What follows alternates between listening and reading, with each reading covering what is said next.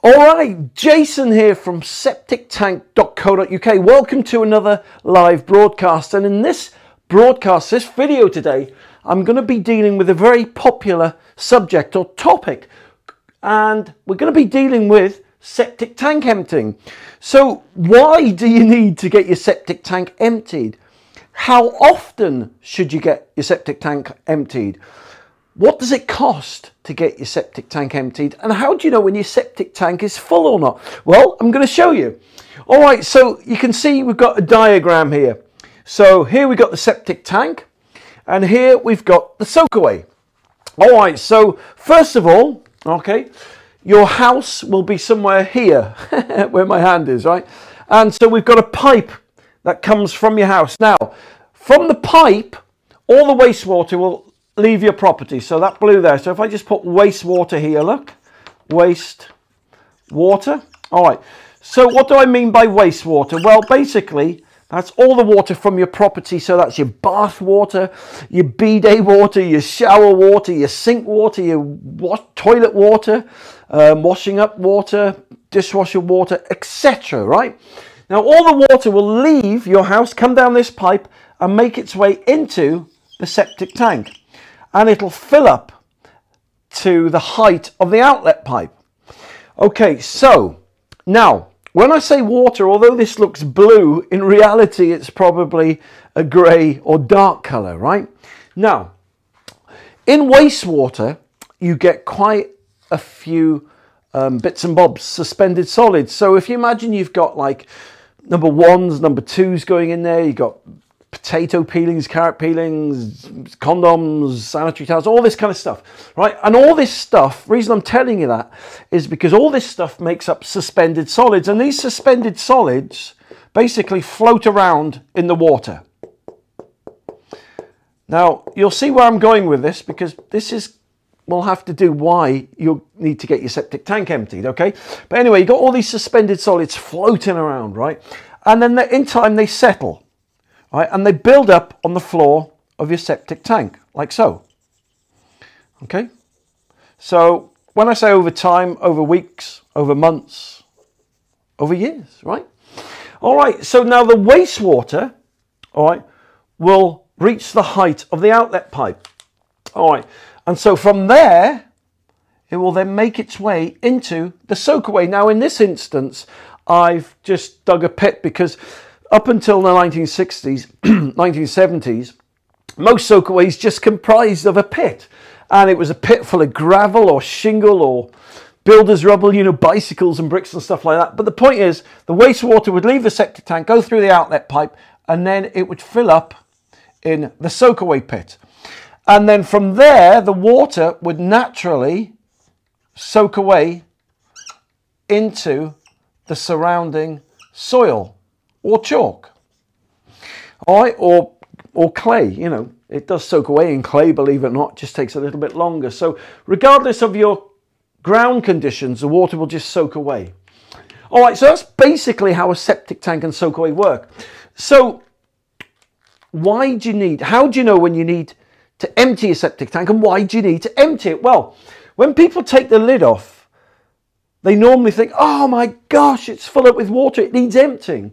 But that is a misnomer. That is um, false reasoning because septic tanks are all three quarters full of water because the outlet pipe is about three quarters up the height or the length of the septic tank. So it's always three quarters full of liquid. And you never need your septic tank emptying because of the liquid. Because look, the liquid goes from here, uh, relative displacement comes, it overflows and it spills into the soakaway. So the water, the soak away, is meant to help the water soak away. So you never need to get your 99% of the time, you never need to empty your septic tank because of the water in there, all right? It's because of these solids. Now, over the course of a year, all these particles that have been flushed down the loo and emptied down the sink that go into your septic tank, as I said, build up on the bottom. Now, this comprises of fat, grease, and sludge. Now, generally speaking, over the course of a year, right, this fat, grease and the sludge will get higher and higher. And so the only way to determine if your septic tank needs emptying is to put like a dipstick in there, right? So take the lid off, get a stick or a, or, or, or a pole, something like that, push it down. Now you're not looking for the watermark, you're looking for a sludge mark. Now typically after a year in a normal household from say one to six bedrooms, a sludge mark will be that far off the bottom.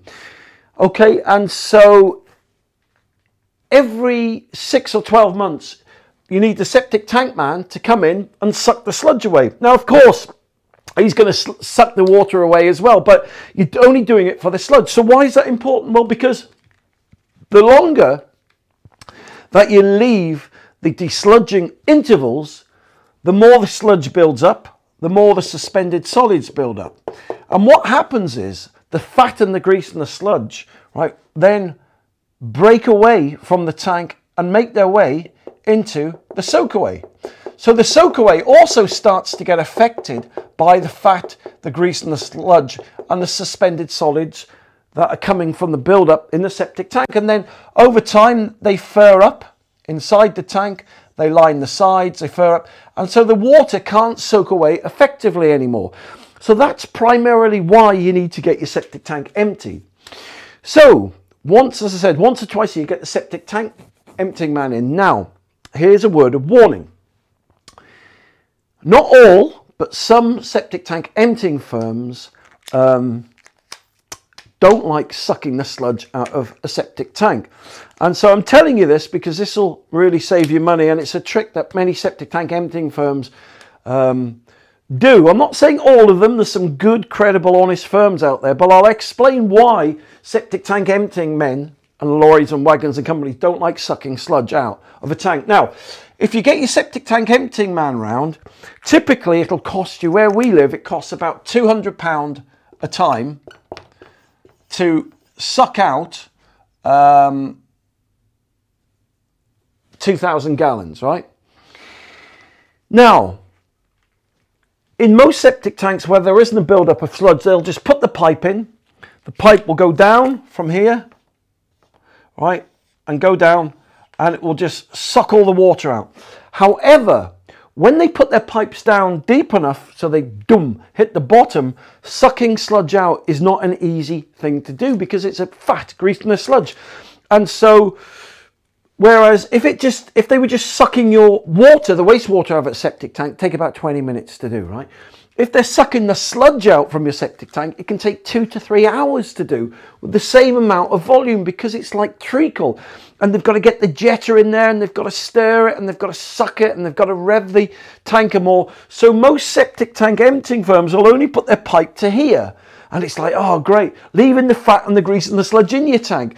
So when your tanker man comes, make sure, boom, that pipe, that sucker pipe goes straight down to the bottom. All right, now, because you know, you imagine, right, a firm, an emptying firm can come in, uh, charge you 200 quid, and, uh, you know, they can make 200 quid in 20 minutes. Whereas, you know, what firm really wants to come and charge you 200 quid and spend four hours on your property emptying your tank and only getting the same amount of money? So that's why most septic tank emptying firms don't like sucking fat grease and sludge out. Now, if you haven't had your septic tank emptied, now it's not too bad if you're getting them in to do it every three months, right? Because the build up of sludge is minimum, right? But when you get, if you haven't had your tank emptied for three, four, five, six, seven years, you know, that's where they just like don't want to come and empty your tank anymore. So there you go. That's just a, a word of warning, a tip from me. And so, okay, so once you've got your septic tank emptied, there's also another little um, uh, um, uh, oh, service, I forgot for a moment, another service they'll offer you, and that is to get your septic tank jetted. Now, if you don't know it, jetting is like, uh, it's like a long pipe, and a jetter looks something like this, and jetting is firing high-powered water from a hose, just like they do on the jet washers, into your septic tank here. Now, this jetting will clean all the debris from the side of your tank. It'll stir up all that fat and the grease and the sludge from the bottom, and then they can suck it out. But just another word of warning, don't get your soakaway jetted. Don't do it. Why? Because you imagine, right? they're firing high powered water, high pressured water, right, into your soakaway. It just sends all that fat and the grease and the sludge down into your soakaway and it compresses it, making it even harder you know, to get out. And it also blocks up all the pores and the arteries of your soakaway, causing soakaway problems. So if you're getting your septic tank jetted, not only is it costing you, what, an extra 150 quid or more on top of your emptying, it's also damaging your soakaway. So don't do it. That's just another tip. That's a free tip, right? Now, probably septic tank emptying firms won't like me saying that, but it's fine for cleaning out your septic tank. I'm not saying don't do that, but don't get them to jet the pipes going to your soakaway. And that's it. So, now, um, what was the other thing? Oh yeah, people asking me how often do they need to get their septic tanks emptied? Well, all you need to do it, you need to do it at least one to three times a year. Okay, so it's as simple as that. I mean, uh, where is oh, Paul Dropper there? But I'm going to show you right now. You can do that. You can spend 200 quid a time to get your septic tank emptied, or you could do what I'm about to show you. Now, what I'm about to show you will save you hundreds and hundreds of pounds. It'll prevent you ever getting or developing any septic tank and soakaway problems, and it will save you hundreds of pounds from having to get your tank emptied all the time. Have a look at this, right? Now, um, you can get something called soak soak away worms. Now, I used to live in a place called Shropshire, right? And where we used to live, my dad's septic tank and all the neighbours used to have loads and loads of worms in the septic tank. It was like something from a nightmare.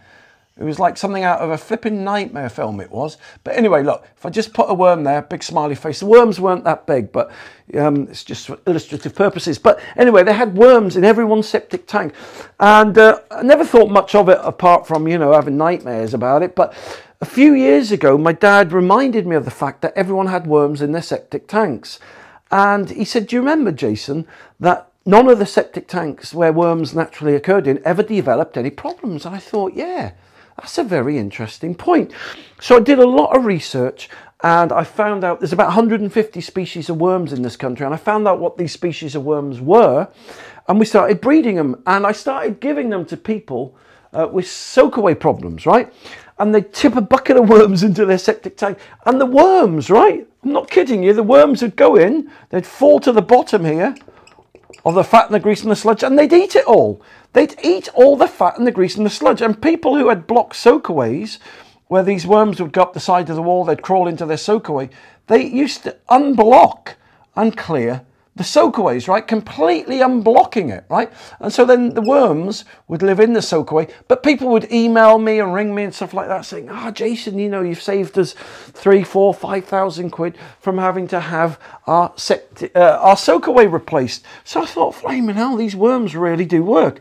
So then I started giving them to people um, to, uh, to see if they'd keep their septic tank clean so they didn't have to get it desludged and emptied all the time. And True enough, they'd put their worms in, the worms, they'd get their tank emptied, they'd then put the worms in, and the worms would literally drop to the bottom of the tank.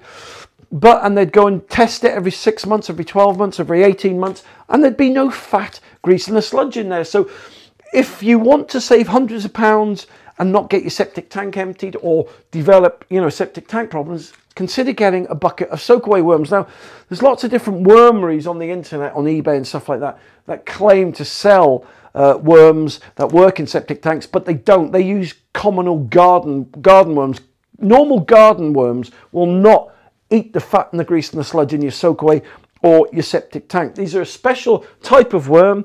They're called a sewage worm and they specially exist in nature to eat fat, grease and sludge. But anyway, so that's a, another free tip for you. Every little helps, as the saying goes. So look, if I hope that's helped you regarding septic tank emptying today, right? If you want more free advice and information and free help, then all you need to do is go to septictank.co.uk. That's my main website. I've also um, on YouTube live on uh, Facebook. The point is, I've I've also got it's called Septic Tank TV. Again, all this stuff's free. I don't want a penny. There's no catch, there's no con. I've just done hundreds of free videos to help people save money and fix septic tank problems. So if you want to see more of me, you want to get more free advice, just go to septictank.co.uk or um, just go onto Google and type in septic tank TV. But listen, thank you very much for taking the time to watch this live broadcast today. You take care and I'll speak to you soon.